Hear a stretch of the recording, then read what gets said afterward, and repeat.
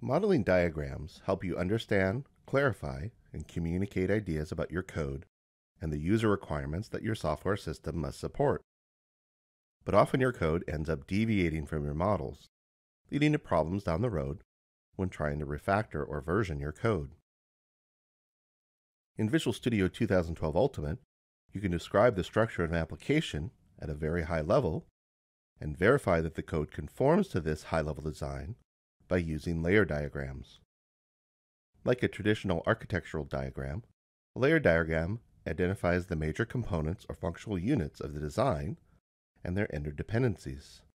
Each node in the diagram, called the layer, represents a logical group of namespaces, projects, or other artifacts.